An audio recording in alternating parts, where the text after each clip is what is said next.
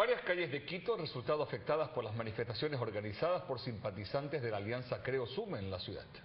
El principal problema se da por la quema de llantas en las avenidas.